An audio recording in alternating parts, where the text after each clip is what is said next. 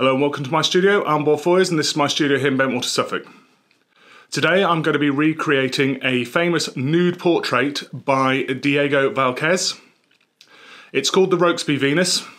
Um, basically, I'm going to be trying to do a little bit of a spin on it myself. Um, it's a very famous picture. It was bought by the National Gallery by the Nation. The money was raised by by the Nation. It was called the Nation's uh, Venus it's an incredibly famous picture that was also um, slashed by a suffragette.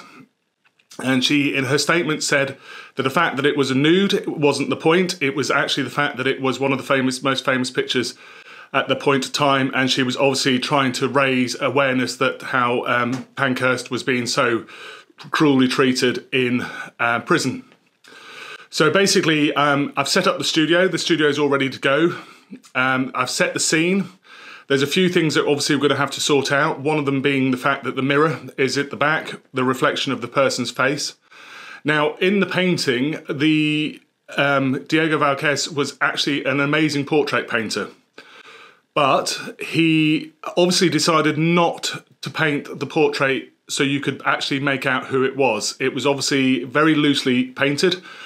So what I'm going to do is try and recreate that. So the actual sitter is going to be anonymous when they actually have the pictures uh, finalised.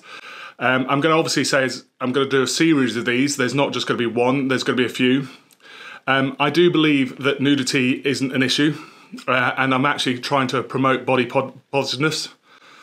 And I feel that obviously um, people will see it with two views, a bit like the Venus itself. Um, obviously, without the cherub in the corner of the, the original painting, it would just be a nude.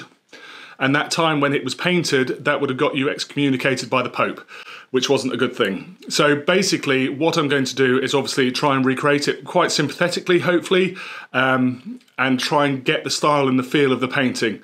But as I said, it's going to be a series of pictures, not just the one. So hopefully I'm going to be doing some behind the scenes videos, but I have to be a little bit careful. Obviously the person who's going to be sitting is going to be nude. As with the painting, you don't see a great deal. You only see a bottom and that's just a bottom. So at the end of the day, I'm sure everybody's seen one of them.